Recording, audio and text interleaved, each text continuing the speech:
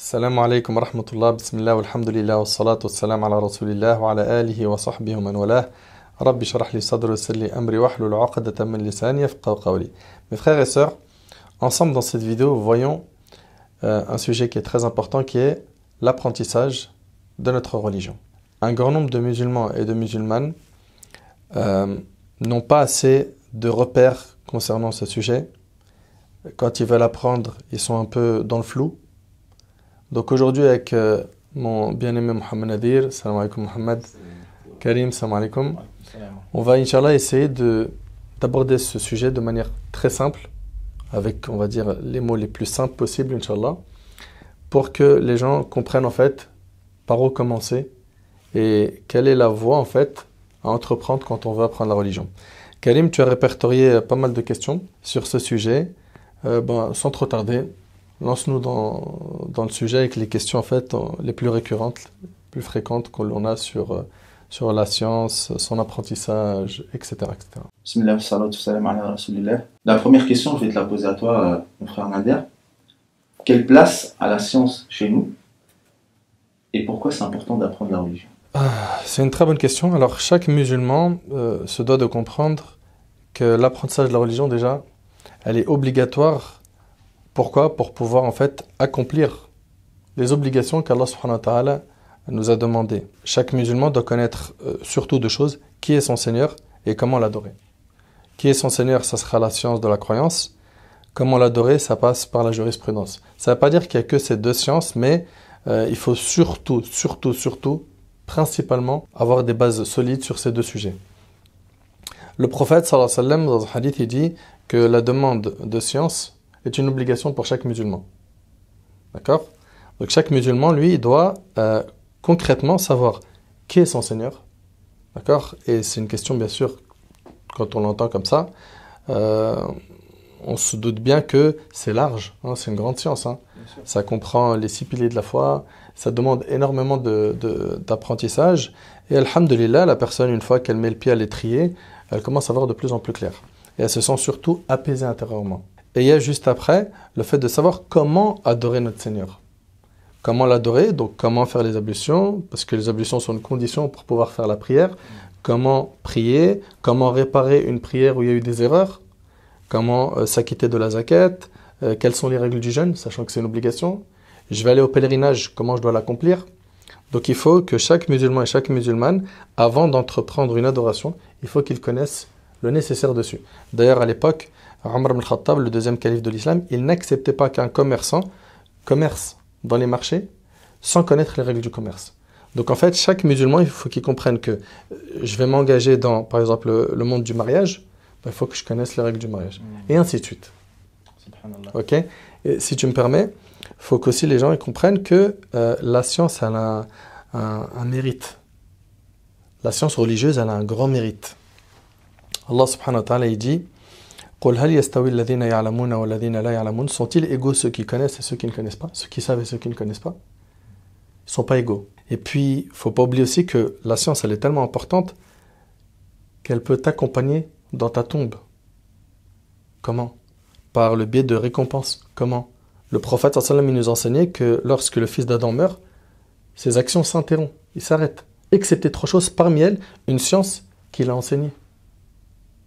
Donc le fait d'apprendre la religion et l'enseigner par la suite, c'est quoi? C'est tout simplement faire en sorte que quand tu seras dans ta tombe, tes bonnes actions, elles continuent. Elles continuent à quoi? À augmenter.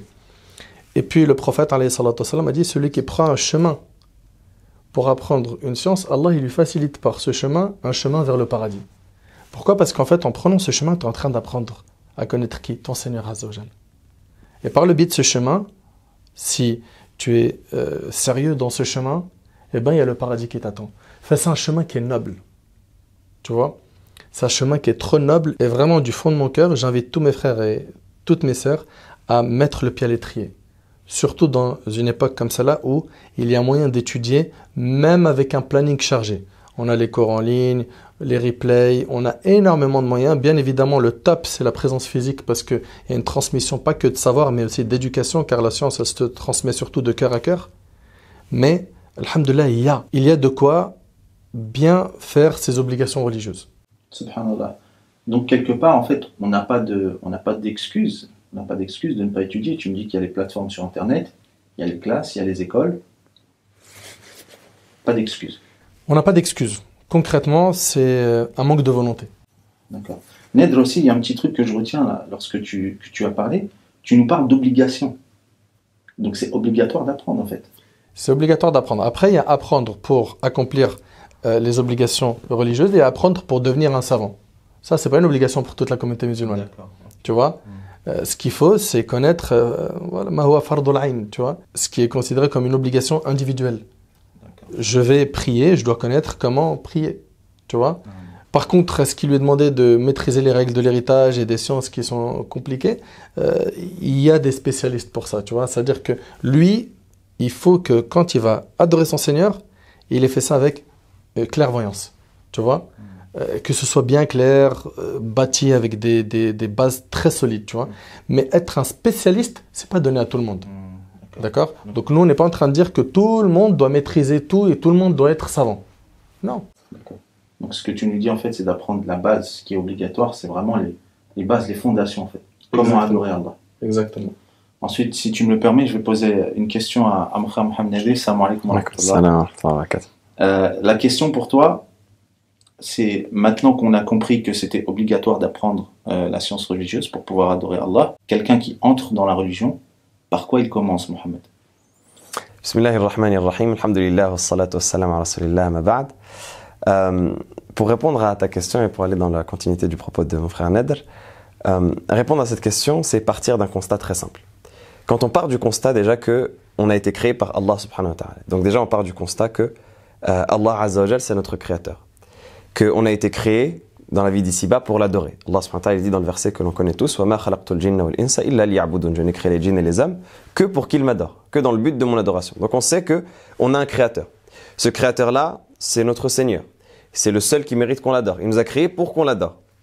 Et afin de nous apprendre comment l'adorer, notre créateur, il nous a envoyé des prophètes et des messagers qui nous ont transmis euh, une législation, qui nous ont transmis un message avec lequel Allah subhanahu wa ta'ala les a envoyés et qui les a chargés de nous transmettre. Et on sait qu'à leur tête, à la tête de ces messagers, il y a notre prophète sallam, qui est venu avec sa tradition, la sunna, et qui est venu avec, évidemment, le Coran, la parole d'Allah subhanahu wa ta'ala. Et donc, ici, on part de ce constat-là. On croit en Allah azza wa donc on croit en notre créateur, et on sait que notre créateur s'est adressé à nous à travers sa parole, qui est le Coran. Et on croit aux prophètes et aux messagers, à leur tête notre prophète Muhammad sallallahu alayhi wa sallam, qui nous est venu, comme tous les messagers avant lui, avec un message de la part d'Allah. Et le message du prophète sallallahu alayhi wa sallam, c'est euh, ce qui euh, clôture la prophétie, parce que le prophète sallallahu alayhi wa sallam, c'est le sceau des prophètes et c'est le dernier des messagers. Et donc on a d'un côté le Coran, qui est la parole d'Allah, de l'autre côté la sunna, qui est la tradition du prophète alayhi salatu wassalam. Et ça, c'est nos bases principales sur lesquelles on part. En tant que musulman, on part principalement sur la parole d'Allah et su- et sur la transmission de son messager, alayhi salatu wassalam. Donc c'est la base principale sur laquelle on construit notre religion en tant que musulman. Après cela, on sait que le prophète sallallahu alayhi wa sallam, il a été envoyé vers des gens. Et donc il a été en contact avec des gens. Et donc il, a, il a enseigné à des gens. Ces gens-là, qui sont qui sont-ils? Ce sont ce qu'on- appelle as-sahaba, les compagnons du prophète sallallahu alayhi wa sallam. Les compagnons, ils ont appris avec le prophète sallallahu alayhi wa sallam. Donc en quelque sorte, ça a été les élèves du prophète sallallahu alayhi wa sallam. Le prophète sallallahu alayhi wa sallam, ça a été euh, l'école, ça a été le professeur euh, pour euh, ses compagnons qui ensuite ont pris de sa tradition et qui l'ont eux-mêmes enseigné à des générations suivantes, qu'on appelle les tabirin, qui sont leurs, élèves, et ensuite atba'a tabirin, etc. C'est ce qui fait chez nous notre patrimoine, dont on parlera un peu plus tard, Inch'Allah. Donc, Allah subhanahu wa ta'ala, il nous a placés dans euh, ce... euh, euh, Allah subhanahu wa ta'ala il nous a placés dans cette construction avec le Coran, avec la Sunna, avec sa parole, avec la tradition du prophète sallallahu alayhi wa. Et c'est cela les sources avec lesquelles on doit s'éclairer en tant que musulman. Et c'est pour cela que le prophète sallallahu alayhi wa sallam il dit. Il dit "Je vous ai laissé ce avec quoi si vous vous attachez, si vous vous y accrochez, vous ne vous égarerez jamais après moi." Qu'est-ce que c'est? Le Coran, Kitabullah wa sunnati. Comme c'est dans une version du hadith, le livre d'Allah et ma sunna, et ma tradition. C'est-à-dire que quand la personne s'attache au livre d'Allah et à la tradition du prophète sallallahu alayhi wa sallam, ça y est, elle a concrétisé les bases avec lesquelles elle va vers Allah subhanahu wa ta'ala, avec lesquelles si elle s'y attache et si elle s'y cramponne d'une manière saine et authentique, eh bien elle ne s'égarera jamais, elle ne connaîtra jamais l'égarement. Et bien sûr, Tout cela, ça se prend comme les compagnons l'ont pris du prophète sallallahu et comme du coup les savants l'ont transmis génération après génération, parce que les premiers savants, ce sont les compagnons, puis leurs élèves, puis leurs élèves, et ainsi de suite, génération après génération comme ils l'ont transmis, euh, jusqu'à ce que ça parvienne, jusqu'à ce que ça nous arrive à nous. C'est-à-dire qu'on ne peut pas non plus prétendre, comme on va en parler, euh, aller directement vers le Coran et la Sunna euh, sans indépendamment de tout ce qui a été fait par le passé. Le musulman, il doit apprendre à travers ces sources-là qui nous ont transmis, qui nous ont transmis au final cet, héritage.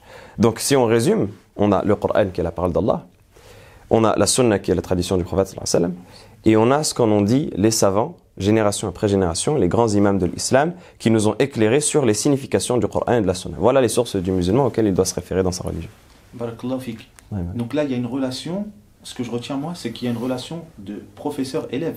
Tu m'as dit que le prophète sallallahu alayhi wa sallam, c'était Ah, ça. le, le- le premier enseignant, donc il a Mm. enseigné aux compagnons, Mm. qui eux-mêmes ont enseigné aux, aux- aux générations suivantes. C'est exactement ça. C'est exactement ça. C'est que le prophète sallallahu alayhi wa sallam, c'est un professeur, il, nous- il a été envoyé pour nous enseigner. Et Allah subhanahu wa ta'ala l'a envoyé en tant que muallim, en tant qu'enseignant. Et c'est ainsi que les compagnons ont été formés avec le prophète mais ils ont transmis également. Et ça montre que c'est quelque chose qui nous enseigne que nous, en tant que musulmans, eh bien, on doit également se former et apprendre avec ceux qui ont appris, avec ceux qui ont appris jusqu'à remonter au prophète alayhi sallam. Barakallahu fik. Réponse très pertinente. Barakallahu fik. Merci beaucoup, Mohamed. Maintenant, je me tourne vers, euh, vers toi, Nader. J'ai une question qui est un peu plus importante. J'entends, euh, mon frère Nader, souvent que la religion, c'est facile et accessible. N'importe qui, aujourd'hui, peut prendre le livre d'Allah, l'ouvrir, le lire. Parce que la lecture, c'est quelque chose qui est, qui est presque inné chez tout le monde. Est-ce qu'on peut étudier donc, le et la Sunna, les deux éléments que, que nous a cités précédemment mon frère Mohamed Est-ce qu'on a le droit de les étudier seuls? Très bien. Alors, euh, il va falloir faire une distinction entre deux choses. Lire le livre d'Allah, d'accord? Le Coran. Ce livre, il est accessible, d'accord? Le lire euh, pour euh, voilà, comprendre, méditer la parole d'Allah, ça c'est accessible à tout le monde. Par contre, écoute très attentivement ce que je vais te dire. Euh, le lire donc dans sa globalité, il n'y a aucun problème. Au contraire, c'est une lumière, ce livre-là. C'est une guidée. il apporte énormément pour notre âme.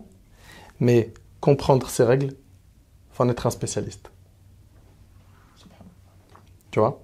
L'imam Al-Ghazali et d'autres, ils disent que dans le Coran, il y a 500 règles. Tu vois? Si j'arrive dans le verset où Allah subhanahu wa parle de zihar, d'accord, qu'on retrouve dans le chapitre du divorce, et ben là, forcément, je vais avoir besoin de quoi? D'un professeur. Tu vois? Euh, Pareil pour l'ila. D'ailleurs, ça se trouve, c'est des termes que nos auditeurs ils comprennent même pas. Tu vois? J'ai fait exprès d'utiliser ces termes. Pourquoi? Pour que les auditeurs comprennent que oui, tu vas profiter du livre d'Allah. Il est accessible. Par contre, extraire les règles du texte, euh, en arriver à maîtriser en une lecture les règles euh, qui sont tirées du Coran, ça, c'est pas donné à n'importe qui. Tu vois? Et il en est de même pour la tradition prophétique. Et dans la tradition prophétique, tu vas voir des fois des textes du prophète, qui contiennent le mot obligatoire. Il y a le terme obligatoire. Muhtalim. Les grandes ablutions le jour du vendredi sont obligatoires pour toute personne pubère. Il y a le mot obligatoire. Eh bien, ici, les savants nous disent que c'est juste pour renforcer la recommandation. Et et cela ne veut pas signifier que c'est obligatoire de faire les grandes ablutions pour le jour du vendredi. Tu vois?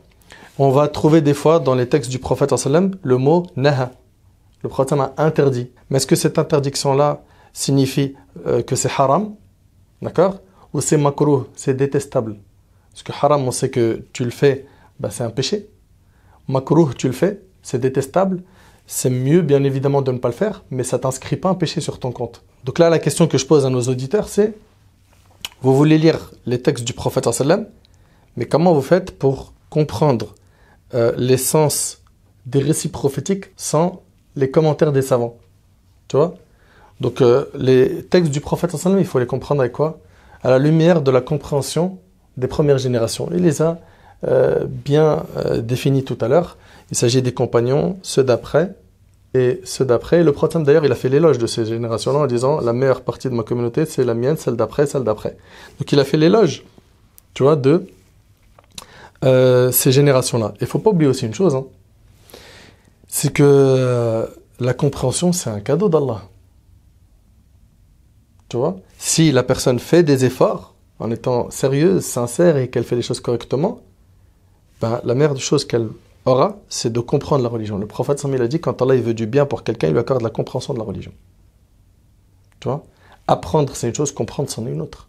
On a trop de gens aujourd'hui qui apprennent des textes par cœur. Sur la toile, on voit des gens dire, mais lui il dit c'est halal, l'autre il dit c'est haram. Et quand tu creuses, il y a toujours un souci quelque part dans quoi? Dans la compréhension. La compréhension, c'est vraiment quelque chose de très important. Tu vois? Et tu disais tout à l'heure, euh, est-ce qu'on peut comprendre seul? L'imam Shafi'i, il dit. Que toute personne qui va euh, apprendre en puisant directement dans les livres, tu vois, il va anéantir les règles de la religion. Pourquoi? Ben Parce que chaque matière a besoin d'un spécialiste. Regarde, on va parler avec un français très simple. Il y a des gens qui euh, veulent devenir architectes. Ils vont regarder des tutos sur YouTube. Ils vont lire des articles, etc. etc. Et d'autres, ils vont aller à l'université, ils vont faire un cursus. Le résultat, c'est le même pour les deux? Jamais. Non. C'est pareil. Quelqu'un qui veut apprendre la religion, eh ben, euh, quand il va rentrer dans une structure, une école, où il sera accompagné d'un professeur, d'accord Une personne de science, ça ne sera pas le même résultat que quelqu'un qui a picoré sur YouTube, qui a picoré des articles à droite et à gauche, qui ne sait pas ça dire quoi les écoles juridiques, il ne sait pas ça dire quoi la divergence, il sait pas. Il y a plein de, termes qui le dépassent. Forcément, ça va être trop compliqué pour lui. Mm. Tu vois Et il restera toujours perplexe. Toujours à dire, faut que j'appelle un tel parce que je comprends pas. Il dépendra toujours de quelqu'un. Mais s'il met le pied à l'étrier correctement, s'il commence à apprendre comme les savants euh, nous ont en fait défini par quoi commencer, parce que un débutant, il doit commencer d'abord par les, les, premiers livres de débutant, puis après il passe ce palier-là, il va à des livres euh, qui sont un peu plus poussés et ainsi de suite, et à la fin, il regarde les divergences des écoles. Aujourd'hui, non, c'est un peu bancal, tu vois. Donc la personne, euh, pour apprendre la religion, il lui faut impérativement un professeur.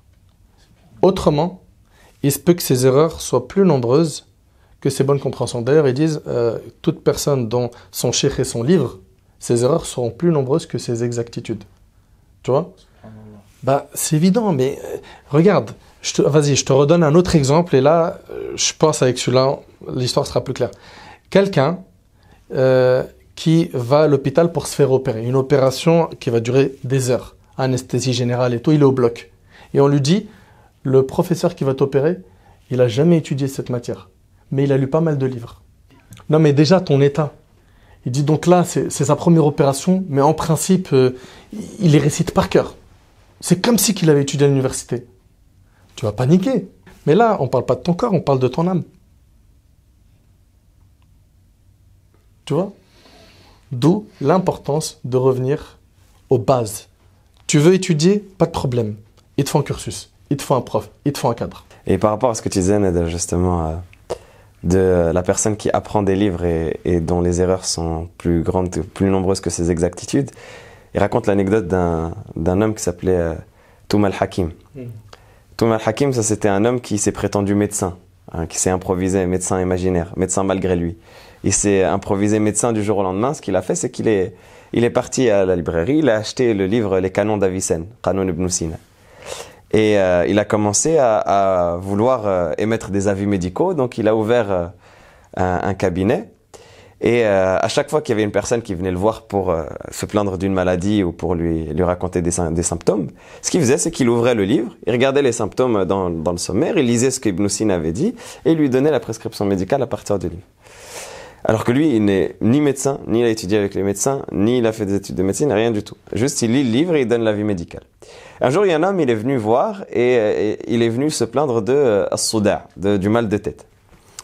Et euh, qu'est-ce que Tom al-Hakim a fait? Il a ouvert son livre comme d'habitude, il a allé chapitre de Soudar, chapitre du mal de crâne, et il a vu que parmi les choses que euh, Ibn Sina recommande pour cela, il y a le habbatus sauda, il y a la graine de nigel qui est connue et que le prophète sallam recommande. Sauf qu'il y avait une erreur d'impression dans son livre. Au lieu d'avoir écrit le Habbatus Sauda, il y avait un point qui s'est rajouté en dessous du bas. Et ceux qui apprennent la langue arabe, ils savent que le bas, si tu lui rajoutes un point, ça fait le ya, ça donne Hayyatus Sauda. Même les non-arabophones peuvent comprendre que c'est passé de la graine de Nigel à la vipère noire. Au lieu que ce soit la graine de Nigel, c'est devenu la vipère noire. Donc il lui a dit ce que tu dois faire, c'est que tu vas aller chercher une vipère noire et tu la manges. L'homme, il est parti, il a dit ok, il est parti chercher une vipère noire, il l'a pris, et la vipère, elle l'a tué, il est mort. et donc, à cause de son ignorance, il a tué quelqu'un. C'est pour ça que euh, il, est, il est dit, un des poètes, il a dit, euh, pour plaisanter, que le, le l'âne de Tom al-Hakim, il s'est plaint. Il a dit, normalement, c'est pas lui qui monte sur moi, normalement, c'est moi qui monte sur lui. قال حمار الحكيم توما لو أنصفوني ما كنت أركب لأني جاهل بسيط وصاحبي جاهل مركب. Là, il dit parce que moi, je suis ignorant, mais je sais que je suis ignorant. Celui qui monte sur moi, il est ignorant, il sait pas qu'il est ignorant. Normalement, c'est moi qui monte sur lui. Ce qu'on appelle un ignorant composé. Un ignorant composé, exactement. à la fin, il, il, était plus malade, donc. Quelque part, il lui a enlevé la maladie. ah ouais. À la fin, il lui a enlevé la maladie, il lui a enlevé tout. à cause de son ignorance. Donc, de tout ce que tu m'as dit, euh, Nader, auparavant, lire, c'est facile. Apprendre par cœur, c'est facile. En l'occurrence, comprendre, c'est pas donné à tout le monde. D'où l'obligation d'avoir un professeur. Maintenant, moi, ou un n'importe quel jeune qui souhaite apprendre, étudier, puisqu'il n'a pas la capacité à comprendre, où il se dirige, Ta question elle est pertinente et d'ailleurs euh, on retrouve dans Sahih Muslim la célèbre parole d'Ibn Sirin qui dit que euh, cette science est une religion, que chacun d'entre nous prenne garde de qui l'apprend. Tu vois, donc on voit ici que euh, il faut être très vigilant dans notre démarche de demande de science. On va l'apprendre de qui? Bien évidemment, le débutant, lui, qui n'a aucun outil, lui, il ne peut pas, euh, comment dirais-je, euh, savoir qui est dans la vérité, qui est dans l'égarement. D'accord? Donc nous, on va lui donner des clés, ok, qui euh, l'aideront à faire attention au choix. La première des choses, il faut qu'il apprenne à étudier chez quelqu'un qui lui-même alors, a plusieurs qualités. C'est quelqu'un qui a étudié lui-même et qui a un cursus scolaire. D'accord? On sait que euh, c'était un élève de, de tel cheikh ou il est sorti de telle université avec tel diplôme. Il y a des écoles et des savants qui sont reconnus. Lui, quand il va démarrer, il va faire euh, deux choses. Il va faire dua, d'accord, pour qu'Allah le guide. C'est quoi dua? Les invocations. Et également, il va faire son ijtihad, d'accord, il va faire son effort d'aller vers quelqu'un qui lui enseigne, d'essayer de trouver la personne la plus adéquate pour cela. Alors, ce qu'il faut que son professeur euh, réunisse, c'est qu'il ait étudié, d'accord? Que ce soit auprès de professeurs, donc dans une université euh, reconnue, ou bien avec des, personnes de sciences reconnues, d'accord?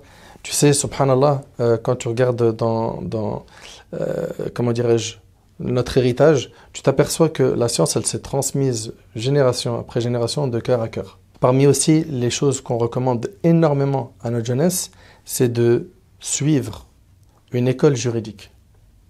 Tu vois? Mmh. Suivre une école juridique, euh, normalement, lui, quand il démarre, il n'a pas les outils lui-même pour suivre une école tout seul. Il aura besoin d'un prof, donc de suivre donc un professeur qui suit lui-même une école juridique. Les écoles juridiques, c'est quoi? Donc, ici, il y a eu, tu sais, à l'époque du prophète, salam, beaucoup de compagnons. D'accord? On parle de plus de 100 000 compagnons. Euh, après le prophète sallam, après sa mort, ces compagnons-là, certains parmi eux sont partis en Irak. Abdullah ibn Mas'ud, par exemple, anhu, ok.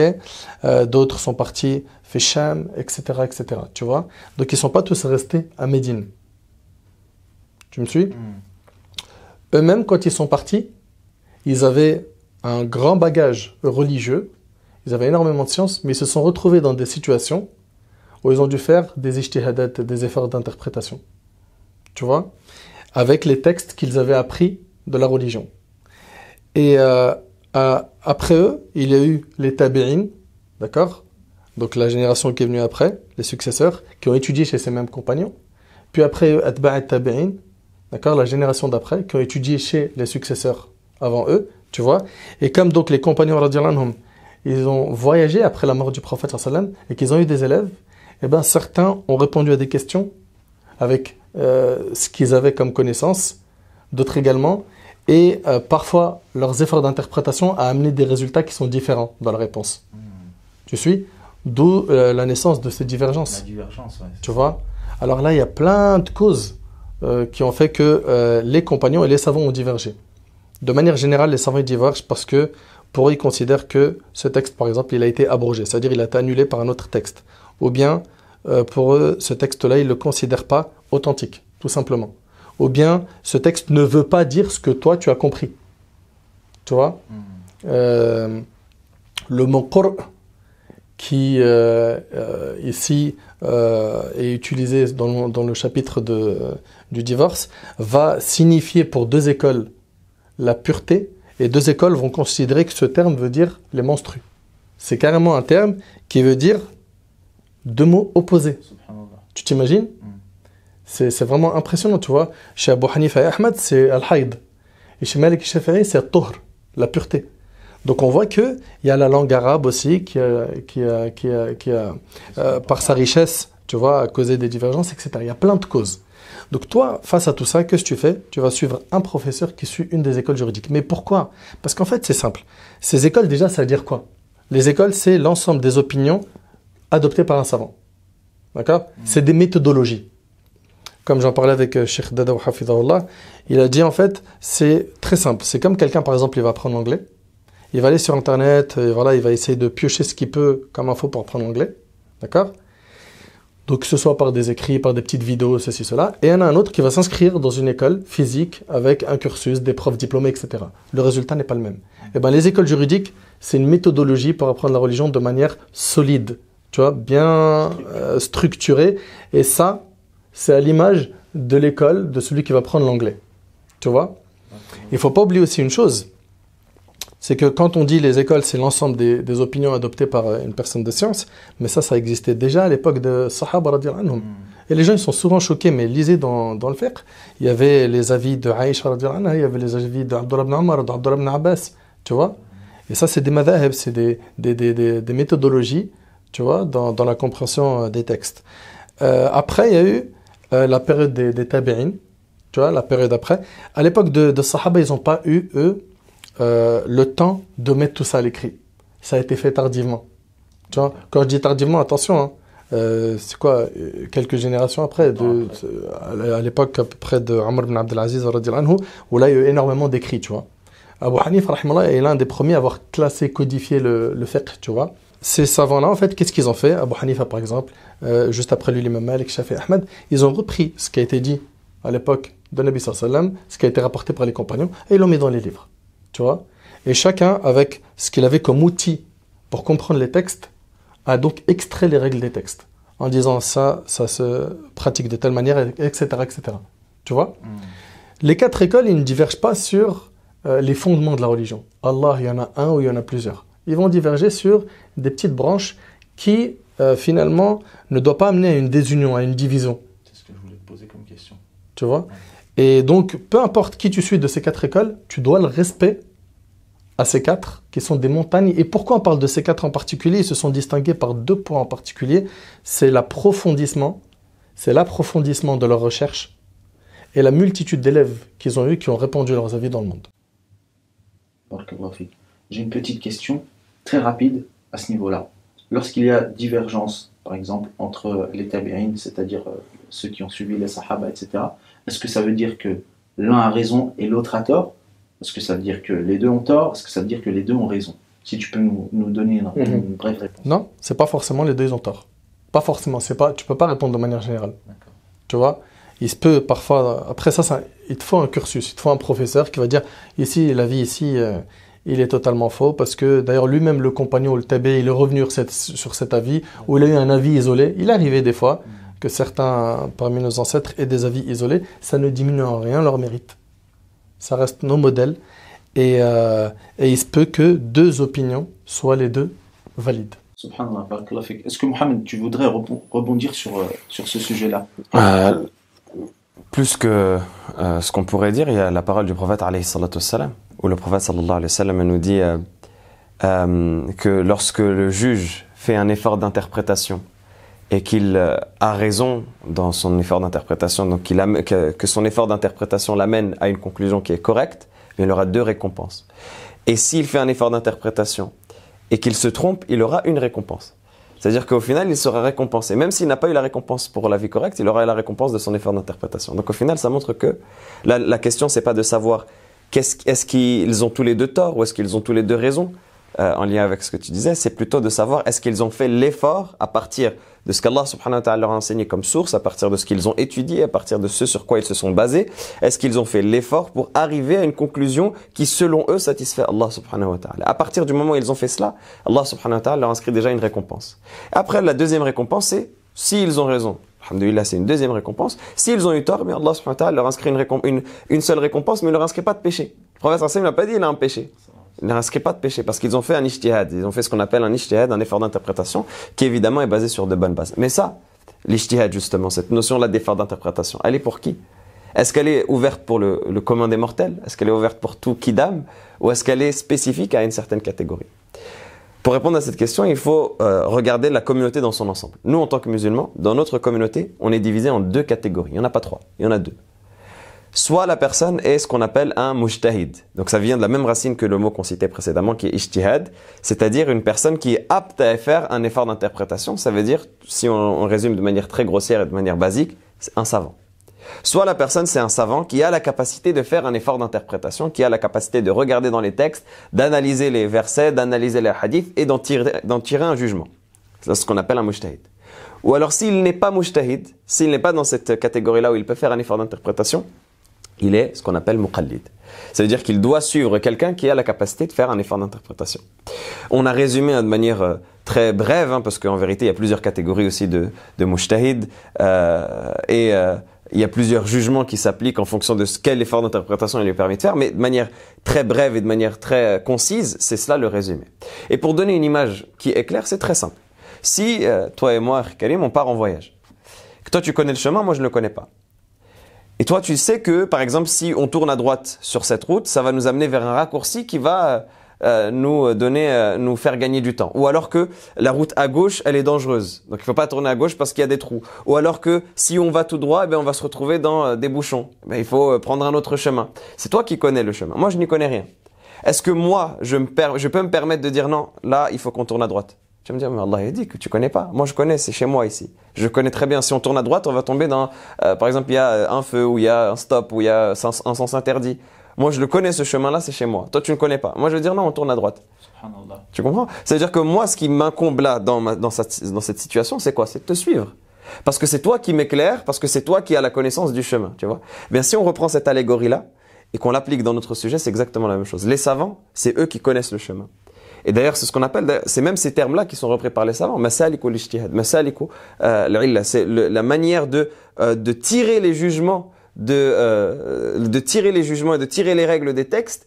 Et d'ailleurs, qui revient même à la notion de madhab. La notion de, qu'est-ce que ça veut dire le madhab euh, euh, dans, dans sa base linguistique? Ça veut dire, euh, dans sa racine dans la langue arabe, ce qu'on traduit par école juridique. Madhab, ça veut dire l'endroit vers lequel s'est dirigée la personne. Littéralement, c'est cela.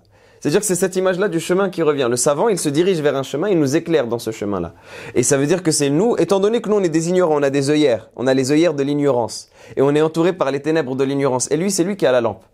Maintenant, on doit se tenir derrière lui pour qu'on soit éclairé par sa lampe. Et si on se met à, nous-mêmes vouloir euh, euh, euh, frayer notre chemin, à nous-mêmes vouloir prendre notre chemin indépendamment de, de sa lumière à lui, mais on va se perdre. Parce qu'on n'a pas la lumière. Donc cette science-là, c'est une lumière qui va nous permettre de tirer des euh, jugements de, de ces textes-là, qui va nous permettre de nous éclairer dans notre chemin. Et pour résumer encore plus, de manière plus simple, et on, on- on conclut avec la, et je conclue avec ça mon propos, c'est que, en définitive, quand tu lis le Coran, comme disait mon frère Nader, quand tu lis les hadiths du prophète, tu es entouré, entouré par ces ténèbres de l'ignorance. Et si jamais tu t'aventures à tirer un jugement et tirer une décision de ce verset ou de ce hadith sans t'éclairer, bien tu es exactement comme la personne qui rentre dans cette forêt noire et qui essaye lui-même de prendre son chemin. Il va y arriver un moment où tu vas avoir un trou, tu vas tomber dedans. C'est pour cela que euh, beaucoup de savants comme Ibn Wahab euh, et d'autres disaient le hadith, c'est un fossé, c'est un trou dans lequel tombent les gens, sauf pour les fuqaha. C'est un chemin égaré, sauf pour les fuqaha, sauf pour les juristes. Pourquoi? Est-ce que ça veut dire que le prophète sallallahu nous égare avec ses paroles Non, ça veut dire que nous, étant donné qu'on n'a pas la, compréhension correcte et qu'on n'a pas la science pour comprendre les paroles du prophète sallallahu si on les prend directement, eh bien ça va être un égarement pour nous. Ça va être un chemin euh, sinueux. Combien de savants ont dit Si le hadith est authentique, c'est le chemin que je prends. Comment on y répond à ça, Mohamed Parce que c'est une réalité. Ils disent, mais attends, mais je comprends pas, vous êtes là, vous nous dites, on suit les écoles, les écoles. Les quatre écoles, ce ne sont pas des nouvelles religions. Ce sont simplement, on vous le dit comme tout à l'heure, l'école physique où tu vas apprendre l'anglais. Et euh, est-ce que nous, il nous est demandé de suivre le hadith authentique, hein, dalil, comme on entend aujourd'hui. Hein. Nous, là où il y a le hadith authentique, on est derrière. Mm. On se casse pas la tête à suivre un tel et un tel. D'ailleurs, l'imam Malik il peut se tromper. Lui-même, il a dit, on prend de tout le monde et on délaisse de tout le monde sauf celui qui est dans cette tombe. Et il a, il a désigné le prophète, alayhi salatu wasalam. L'imam Shafi'i, il a dit, si ma parole contredit celle du prophète, euh, jetez-la contre le mur. Abu Hanifa, lui-même, qui dit, ne prenez pas de moi. Aujourd'hui, je suis d'un avis, après-demain d'un autre avis, etc. Et que finalement, il faut s'attacher à quoi? Finalement, au texte. Mm.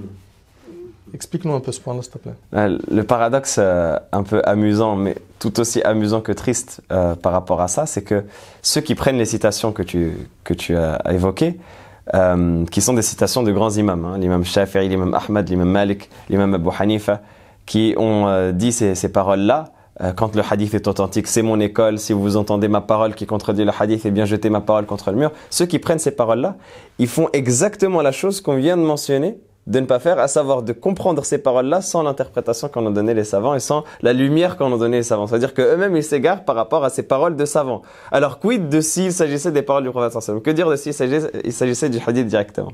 C'est-à-dire que rien que ces paroles-là, la plupart des gens qui les transmettent dans ce sens-là, dans l'argumentation que tu viens de, tenir, ne les ont même pas comprises. Ne les ont même pas comprises.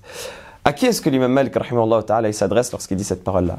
Qui est-ce qu'il a devant lui? À la masse ah, non, il s'adresse pas à la masse. C'est pas un, rappel qu'il a fait comme là.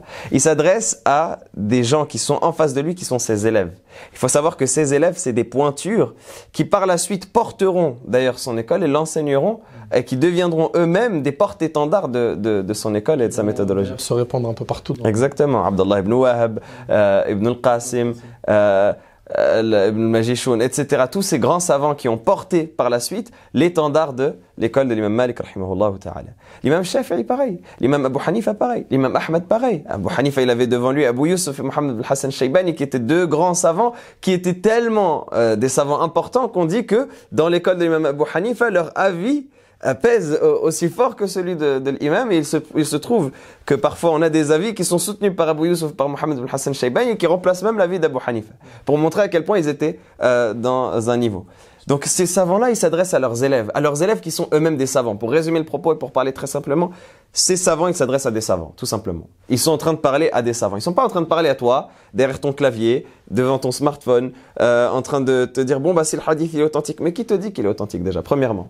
Qui va te dire qu'il est authentique? Si ce n'est que c'est un savant qui t'a transmis le fait qu'il est authentique. Tout en sachant que même dans l'authenticité d'un texte, des fois, il y a des divergences. C'est ça, exactement. C'est-à-dire que c'est un savant qui t'a transmis son authenticité. Il se trouve que ce savant-là, il a euh, déclaré l'authenticité de ce hadith à travers un effort d'interprétation. Parce que lui-même, il a fait l'effort d'aller voir les chaînes de transmission de ce hadith-là et de considérer est-ce que c'est authentique ou est-ce que c'est pas authentique. Bien sûr, on ne parle pas de Bukhari Muslim qui sont authentiques à l'unanimité, mais par exemple, les livres de Sunnah, il y a des hadiths dans Tirmidhi, dans Ibn Majah, dans euh, Nasa'i, dans euh, Abu Daoud, qui sont sujets à divergence entre les savants. Un savant, il va dire il est Hassan, l'autre il va dire non, il est daif, l'autre il va dire non, il est sahih. Oui. Donc euh, il y a cet effort d'interprétation déjà, ne serait-ce que pour savoir si le hadith il est authentique ou pas. Donc déjà quand tu vas tomber sur un hadith et tu vas voir authentifié ou authentique selon, bah, tu vas suivre le savant qui a émis cette authentification. Donc déjà tu vas être dans une démarche de taqlid, une démarche de suivisme comme on disait tout à l'heure. C'est-à-dire qu'à partir de là déjà, tu n'es pas indépendant. Parce que si véritablement tu savais déterminer un hadith euh, et son authenticité, tu serais un savant. Mais non, là tu n'es pas un savant, donc tu suis déjà quelqu'un. Euh, en plus, à partir de là, imaginons, allez, admettons que le hadith est authentique. Est-ce que toi, tu as les outils véritablement pour en tirer, pour en tirer des jugements? Comme disait mon frère Nadr, il y a des mots que tu ne comprends même pas peut-être quand tu les lis. Euh, dont parlait mon frère tout à l'heure, le, terme en lui-même, tu n'arrives pas à le comprendre. Ça veut dire que même si tu retournes dans des, dans des dictionnaires après, tu vas voir qu'il y a tel avis qui a été donné, il y a tel avis qui a été donné. Quels sont les outils? Quel est ton bagage? Quel est ton... Tu vas dire non, mais c'est un cheikh Intel qui a dit. Et Cheikh Intel, ça parallèle authentique. Mais Cheikh Intel, il se base sur un effort d'interprétation, lui-même. Son effort d'interprétation, il est légitime, il est louable. Mais est-ce que c'est la vérité absolue? Non, sinon il n'y aurait pas de divergence. Sinon on aurait mis euh, Cheikh Intel euh, à la base de toute chose et on aurait pris uniquement de ses avis et on aurait appris uniquement avec lui et toute la communauté serait d'accord sur les avis. Non. Si y a cet effort d'interprétation qui est fait par ce cheikh, eh bien ça veut dire que lui-même, il va euh, nous amener vers une position qui est la sienne, mais qui peut être euh, un sujet de divergence avec d'autres et qui peut être contesté par d'autres, qui peut être discuté par d'autres, qui se sont basés sur les mêmes bases sur lesquelles s'est basé Cheikh Hartel. On entend souvent aussi, euh, moi personnellement, je préfère prendre l'avis le plus fort. Hmm. C'est quoi l'avis le plus fort? Il est déterminé par qui? La majorité. Ah, L'avis de la majorité, c'est pas forcément l'avis le plus fort. Sans compter que, comment on fait quand, euh, par exemple, les quatre écoles, ils ont quatre avis différents? Exactement. Ils ont deux avis, deux avis. Dans chaque école, il y a plusieurs avis même. Ouais, mais si déjà on, on va rester sur les quatre, d'accord, qui sont les écoles de référence reconnues partout dans le monde, Hmm. n'est-ce pas, par les sunnites. Mais euh, tu fais comment? Tu as deux écoles qui disent ça, deux écoles qui disent ça. Et puis comment tu fais en fait? Et puis quand tu vas rentrer dans des chapitres que tu n'as jamais étudiés de ta vie. Parce que ça, généralement, on entend souvent. Ouais, moi, personnellement, je penche plus vers ça. Dans quoi? Tahara, la purification, salat, etc.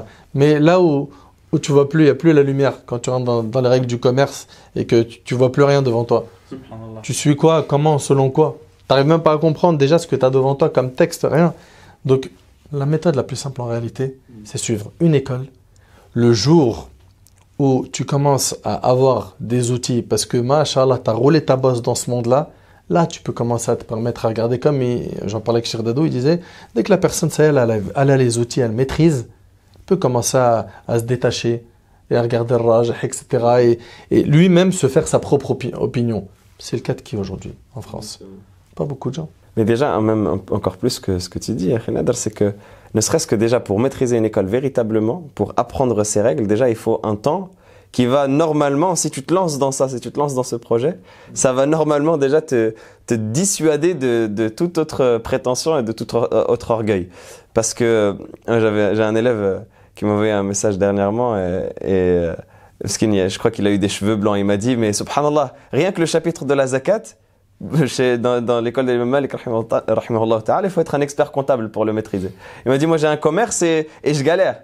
Et il demande des avis, il pose la question, comment est-ce que je fais par rapport à ça, mon commerce, quand est-ce que je donne la zakat, etc. Rien que ça, alors que la zakat c'est une obligation individuelle, on en parlait tout à l'heure. Et Wallah, il si ces personnes-là, qui euh, malheureusement on le voit et on le constate, et ça nous fait mal au cœur de le dire, mais c'est quelque chose qu'on constate et donc on est obligé de relever. Si ces personnes-là passaient moins de temps, hein, ces personnes-là qui se chamaillent sur les réseaux sociaux, à s'envoyer des, des hadiths, des copier-coller de liens trouvés sur Google, s'ils passaient moins de temps à ces chamailleries et qu'ils passaient plus de temps à apprendre leurs obligations individuelles, on parle de la salat, on parle du jeûne, on parle de zakat, rien que ça déjà, ces trois chapitres-là, si vraiment tu les apprends, avec tout ce qui euh, s'ensuit, avec la purification qui suit la salat, avec les règles du jeûne dans le détail, avec les règles de la zakat, avec les quatre catégories, est-ce que c'est du bétail, est-ce que c'est du commerce, est-ce que c'est de de l'argent ou de l'argent fiduciaire, ou est-ce que c'est euh, de l'agriculture Euh, Rien que ces, règles-là, si tu les apprends dans ce qui était obligatoire, si tu as un commerce, combien de gens aujourd'hui se lancent dans le commerce, comme tu disais tout à l'heure, Ned, ne connaissent même pas, sans même parler des règles du commerce. Déjà, les règles du commerce, déjà, c'est normalement, c'est le B à bas. Il y a tellement de choses qu'on fait qui nous font tomber dans le riba que c'est extrêmement grave.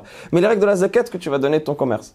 Et combien de personnes, tu lui poses la question, peut-être, il ne sait même pas qu'il y a une zakat du Ils commerce. savent même pas qu'il y a zakat du commerce. Il sait même pas qu'il y a une zakat du commerce, alors que c'est le même que tu vas retrouver sur Twitter ou sur Instagram ou autre que ça, qui t'envoie, qui dit, ah, subhanallah, akhi, regarde le dalil. Ça, Tu, tu ne savais même pas que ce chapitre-là de, de ton obligation individuelle, il existait. Et pourtant, ton temps, tu, tu le, le dépenses dans ces chamailleries et dans ces disputes. Parce que la méthodologie, elle manque et parce que justement, on n'a pas cette notion-là d'apprendre graduellement. Et il manque aussi une tarbiya. Exactement, il manque une éducation, exactement, c'est cela. C'est, subhanallah, je, vais, je te tends la perche. euh, combien de personnes, avant d'emmener leurs enfants étudier, leur disaient apprends d'abord de son comportement avant d'apprendre de sa science. Et en fait, ce que les gens doivent comprendre aussi, c'est que le professeur, il a plein de rôles dans cette affaire. Euh, Il va déjà t'enseigner par le, le adab qu'il transmet. Tu vois? Il va en fait remplir ton cœur de, de respect de cette science. Tu vois L'imam Shafi'i, il dit, euh, quand il tournait la page devant son professeur, l'imam Malik, il l'a tourné le plus doucement possible pour pas déranger son cours. Tu vois? C'est-à-dire il y avait vraiment un grand respect. Pourquoi? Parce que les savants, Allah subhanahu wa ta'ala les a élevés en degrés. Ça, c'est dans le Coran. Tu vois? Euh, Il va aussi te raccourcir le chemin pour la compréhension. Pour gagner du temps. Il va te faire gagner du temps. Tu vois? Euh, Je m'en souviens quand j'ai commencé à, à apprendre.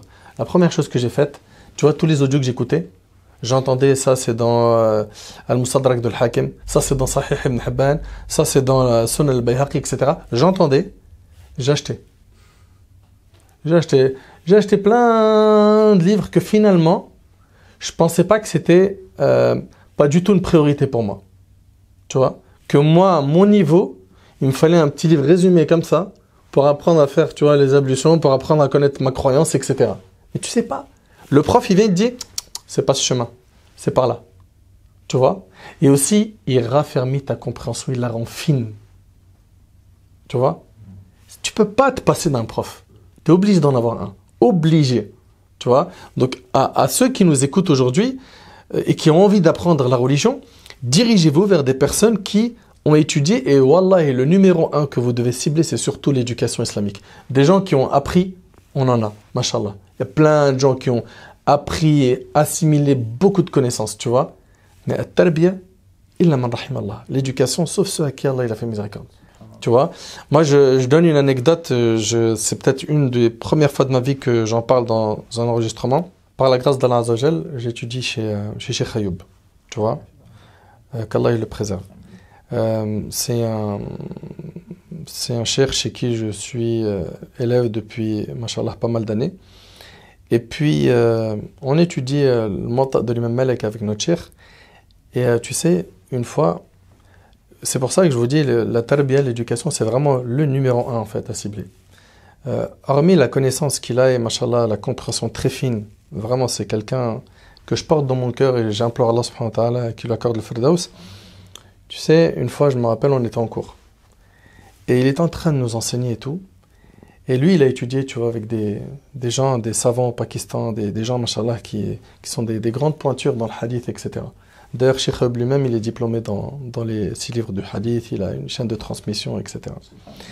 Et euh, euh, tu sais, il est en train de nous enseigner, et c'est assez poussé et détaillé, tu vois, quand on commence à rentrer dans un hadith. D'abord, on, passe par la chaîne de transmission. Euh, S'il y a eu un souci dans la chaîne de transmission, ce que les savants ont dit, des fois, c'est des pages qu'on a dessus.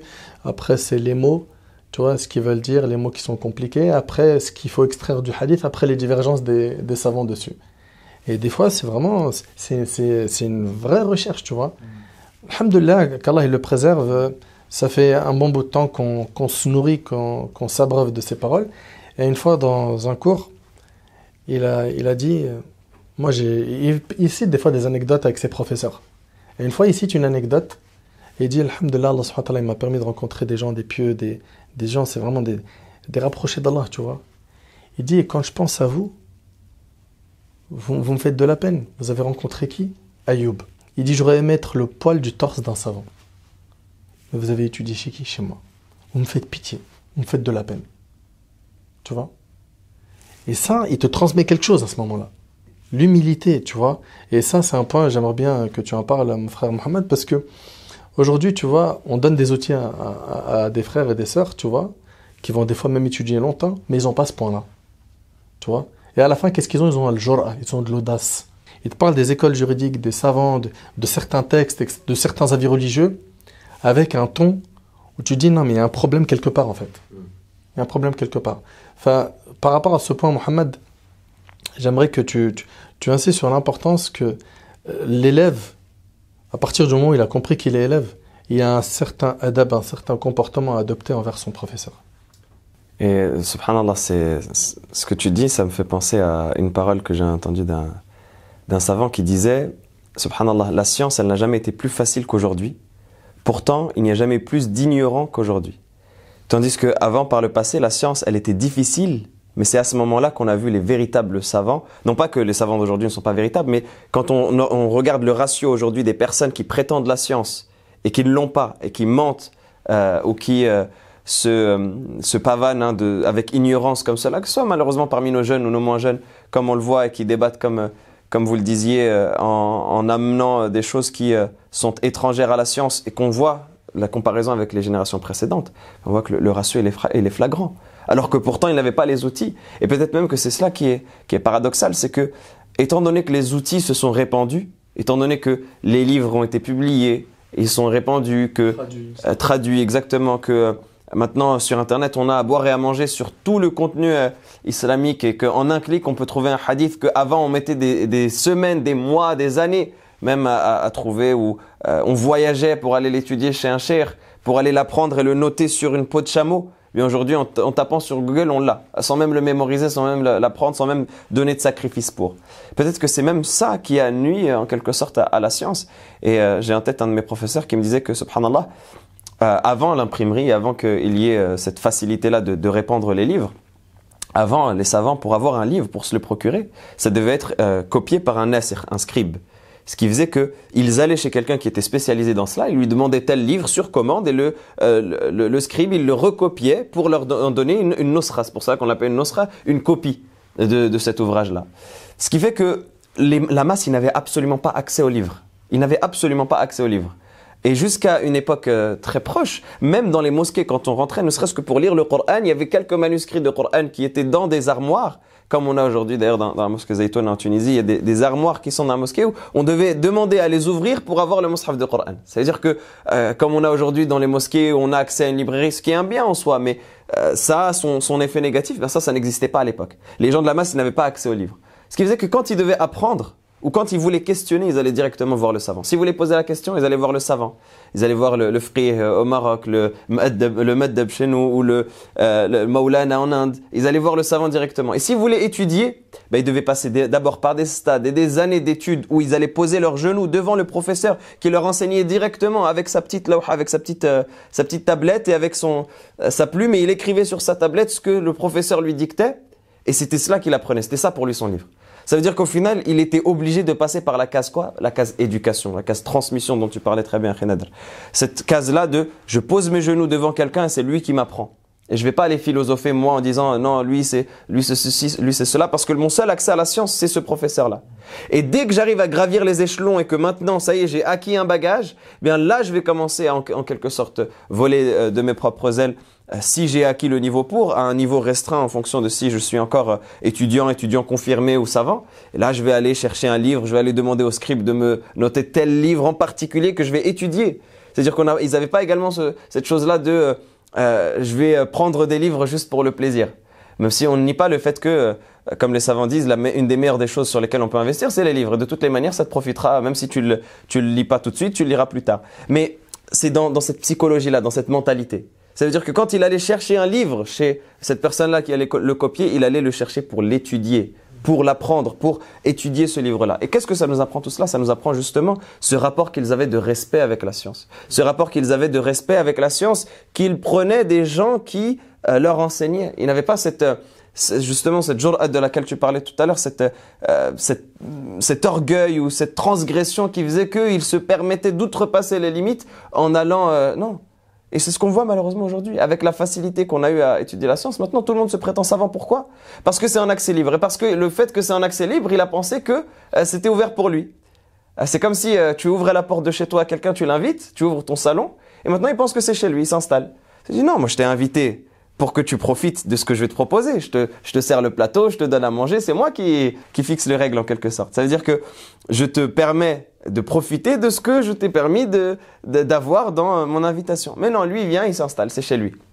Mais c'est comme ça. Aujourd'hui, la science, elle a été facilitée. Normalement, elle était facilitée pour que celui qui en a les outils, il en profite. Maintenant, alhamdulillah, on a des logiciels, Maktaba Shamila, on a euh, Jami' al-Kutub Tis'a, des applications même sur smartphone où en un clic, tu trouves un hadith. C'est bien pour celui euh, qui euh, en a les outils, celui qui va préparer un sermon, celui qui va préparer un cours, celui qui va enseigner. C'est très bien. En un clic, tu retrouves un hadith. Alhamdulillah, c'est une facilité.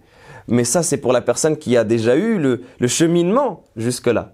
Une personne qui ne connaît rien, qui n'a pas les outils, ou alors qui connaît peu, ou alors dont la connaissance se limite à une culture de, de, de surface, de façade, et qui n'est pas allé dans la profondeur. Et on peut aller dans la profondeur quand s'asseyant devant un professeur qui va nous enseigner, qui va nous transmettre justement cette éducation en même temps qu'il va nous transmettre la science. Ça prend du temps. Exactement, ça prend du temps, ça demande des efforts, ça demande des sacrifices, euh, des voyages, des, des, du temps passé, de, de la fatigue faut souligner aussi un point, c'est que en parlant de ça, euh, pour que les gens y comprennent euh, de manière claire, euh, on parle euh, aujourd'hui de quelque chose que nous-mêmes, de Fadlillah Azzawajal, on met en application. C'est-à-dire, faut pas que les gens ils pensent que nous, aujourd'hui, on a arrêté d'étudier. Et moi, dans mon cerveau, euh, le, le mot arrêter d'étudier, ça fait très longtemps qu'il n'existe plus. C'est-à-dire que grâce à Allah, on n'est on n'est pas en train de se jeter des fleurs, mais simplement expliquer aux gens que c'est un chemin qui n'a pas de fin. Et de toute façon, quand tu es dedans, tu comprends qu'il n'a pas de fin. Et plus tu es dedans, plus tu te dis, mais subhanallah, itani sakat. Si seulement j'avais gardé le silence à telle époque et telle époque, pourquoi je me suis prononcé sur tel sujet? Oh là là, subhanallah, moi qui voyais ça noir, en fait c'est gris. Moi qui voyais ça blanc, en fait c'est noir, etc. etc. Subhanallah, c'est c'est tout, tout ce rapport d'humilité aussi. Ça veut dire que quand tu fais une introspection sur toi-même et que tu regardes, euh, je sais que subhanallah, j'ai toujours ce sentiment-là. À partir du moment où je me pose euh, en étudiant et que je vois mes camarades étudiants, que je vois le cheikh devant moi, je me dis, mais en fait, je suis personne. En fait, je suis une. Et c'est vr- vraiment pas par fausse modestie, hein, c'est pas parce qu'on est là, on discute. C'est vraiment sincèrement. C'est-à-dire que là, nous, on est, on est là, on parle.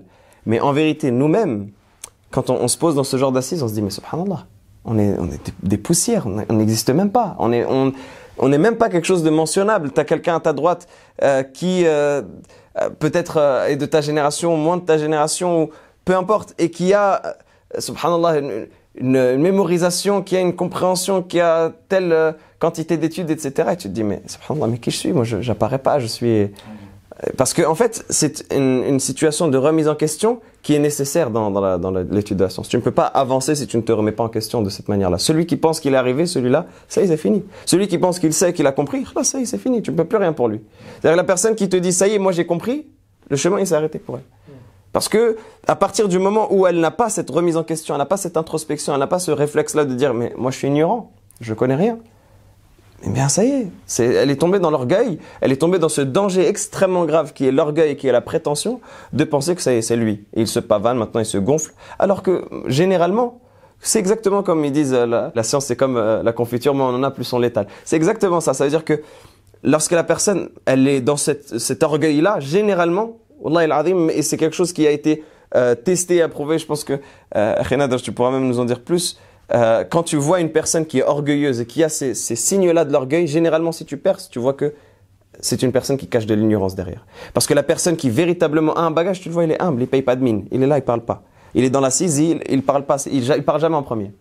Ou euh, il, il s'avance jamais. Celui qui s'avance généralement, ou qui parle, ou qui veut débattre, ou qui veut euh, beaucoup euh, ramener sa science, c'est quelqu'un généralement derrière quand tu creuses, c'est vide. Mohamed, j'ai une question pour toi. Quels sont les dangers à éviter pour une personne qui emprunte le chemin de, de l'apprentissage de la science?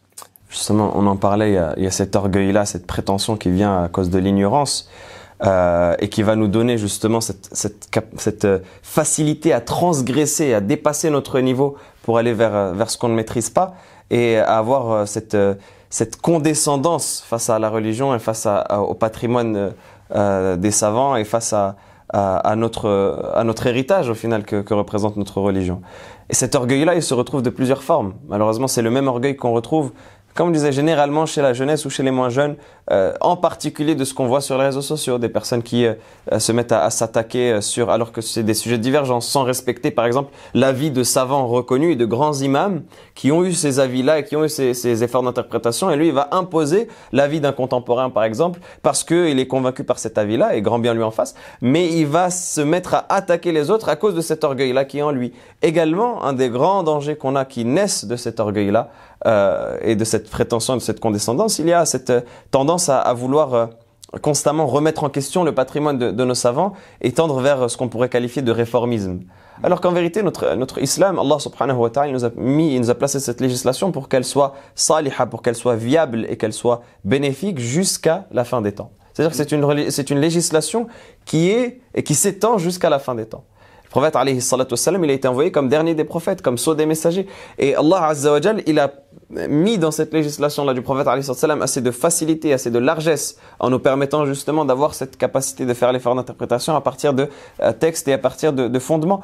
Il a mis cette largesse qui fait que cette religion-là, elle a réponse à toutes les problématiques qui vont arriver, ce qu'on peut appeler dans le jargon juridique les nawazil, les cas nouveaux, à toutes ces problématiques qui vont arriver, il a qiyam jusqu'au jour de la résurrection. Même si demain il y a des gens qui se mettent à, euh, peu importe, ils développent telle ou une nouvelle technologie ou telle nouvelle... savoir. Exactement. Tout ce qu'on peut imaginer, on peut faire une analogie avec sur des textes des, euh, des, des savants et sur les analyses qu'ils ont faites. Et malheureusement, ce réformisme-là, en plus d'être, de naître de l'orgueil et de naître de cette condescendance vis-à-vis du patrimoine de nos savants, mais il naît euh, d'une euh, tendance à vouloir constamment tendre vers une certaine facilité, vers un certain laxisme, euh, à, tout le temps vouloir casser des fondamentaux que le musulman a et en lesquels il doit croire. Si tu me permets, je vais même aller plus loin. Ce qu'on appelle aujourd'hui ces nouveaux courants réformistes, ce qu'ils prônent, c'est c'est pas une réadaptation des textes, c'est se détacher de nos textes. C'est une destruction des textes. C'est-à-dire que la sunna, ils l'ont tellement attaquée que pour eux, voilà, elle n'est pas un argument religieux. Et le Coran, on ne prend pas les commentaires de nos anciens euh, parce que voilà, nous on veut une lecture contemporaine nouvelle, donc finalement on fait dire au Coran ce qu'on veut. C'est exactement ça. C'est exactement ça. Sans, sans, plus aucune barrière. Ça veut dire que, après, quand on pousse la chose à l'extrême, il y a plusieurs types euh, de, de cette tendance-là. Mais euh, on voit que certains poussent la chose à l'extrême jusqu'à ne plus reconnaître aucun fondement. C'est-à-dire même la notion de, de, consensus, la notion de ijma'. Mmh. Euh, le fait que les savants soient tous d'accord sur un sujet, ben non, ça en détruit. Euh, le fait que les savants ne se, sont, ne se soient jamais exprimés sur telle chose, n'aient jamais renié telle chose. Par exemple, si on prend un exemple très contemporain, l'obligation du hijab, l'obligation du voile. Il n'y a jamais aucun savant sur 1400 ans d'islam qui a dit le hijab n'est pas obligatoire. Il faut se rendre compte de la chose. Et on a aujourd'hui des gens qui nous disent non, le hijab ce n'est pas obligatoire parce qu'on va réformer la jurisprudence islamique. Ça veut dire que tu as attendu un millénaire et demi pour toi avoir l'illumination comme quoi non, au final, Allah n'a pas imposé le hijab.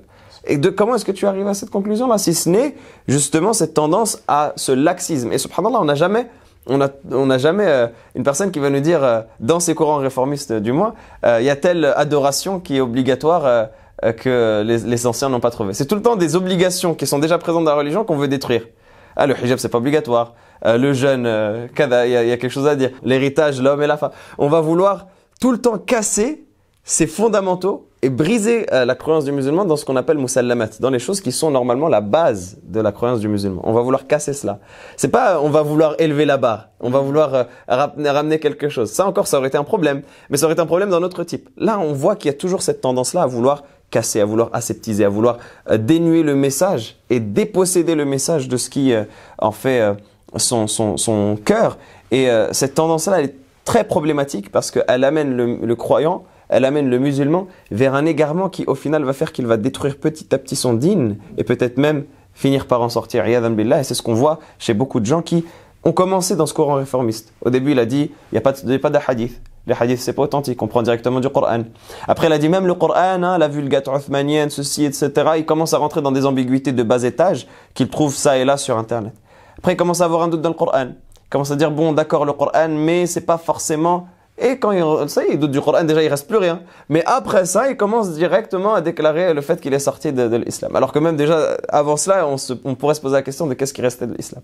Mais parce que petit à petit, il a glissé, il est rentré sur une pente et euh, sur euh, un danger extrêmement grave qui l'a amené à sortir de sa religion. Et le point commun qu'ont ces gens-là, malheureusement, c'est quoi?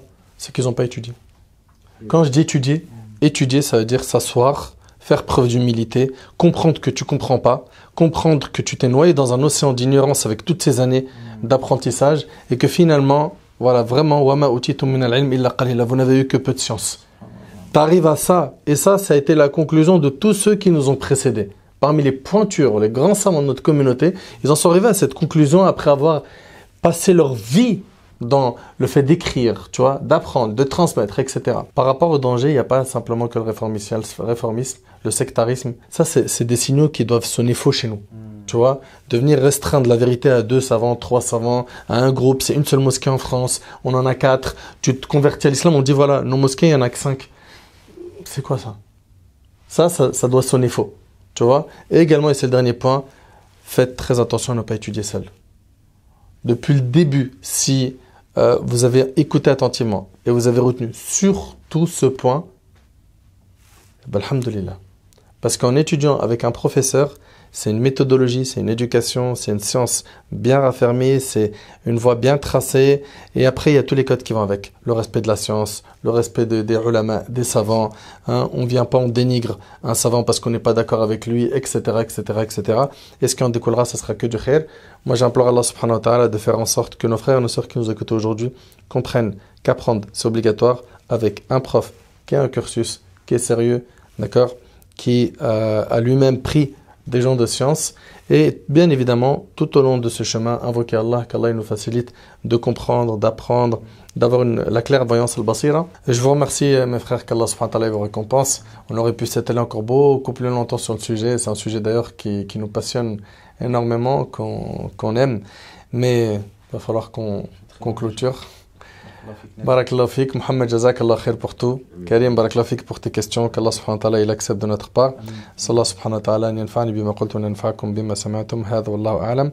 Subhanak Allahumma bihamdika. Ashhadu an la ilaha illa ant. Astaghfiruka wa atubu ilayk. Wa akhiru da'wana. An alhamdulillahi rabbil alamin.